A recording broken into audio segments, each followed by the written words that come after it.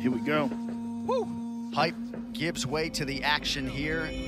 Stands to reason that this could be absolute Oh. bananas tonight. Oh, nice right hand by Gaethje. Good, keep your feints and short angles.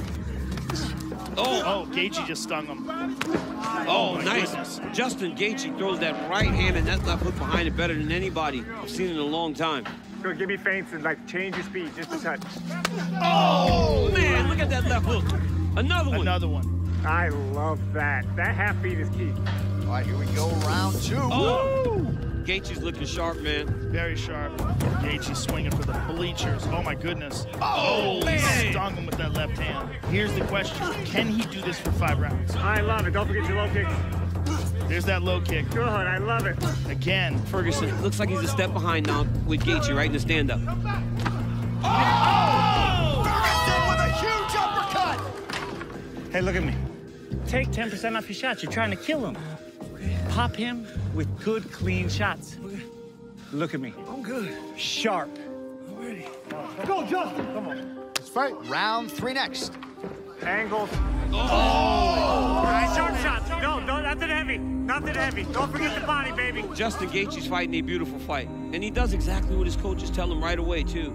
We have not seen Tony Ferguson struggle like this on this 12-fight run, man. He's been dominant, and Justin Gaethje is fighting a fantastic fight. You can't count him out, but this is absolutely the most punishment we've ever seen Ferguson take. Oh, oh man, those leg kicks. This fight's so good. Oh, can you imagine what the fans will be doing The right fans would be losing their mind. They'd be going crazy all night. He will fight to the end, so be sharp. Oh my oh, goodness. Oh my goodness. What a combination, all set up by the jab. This is crazy. This amazing performance by Gaethje against the guy with the longest win streak in the division. He was great when he got here. Yes. But this is the best version of Justin Gaethje that we've ever seen, and by far. Clock working against Ferguson. Oh my goodness. Oh my goodness. This is world class. Justin Gaethje won a major title outside the UFC, defended it five times, but the gold he seeks is in front of him here. You got to think Khabib Nurmagomedov, the undisputed champion, is watching this somewhere. Look at that. Oh, oh my goodness. That was one of the best performances Justin's ever put on because he was locked in to what he had to do to win that fight. Oh, to- oh, Tony's hurt. He's hurt real bad. He's Oh, he's hurt real bad. They're going to He's stop the fight.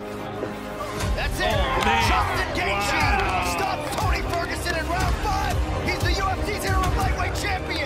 was able to get a finish, not just a win, a finish against Tony Ferguson. Nobody could have expected that level of dominance from Justin Gaethje. We were locked in, tunnel vision, target, becoming a world champion. Justin, who killer? It was all a very surreal experience for me. What a performance The first show, by the human highlight. first sporting event in the world to come back. Man, life is uh, life's a trip.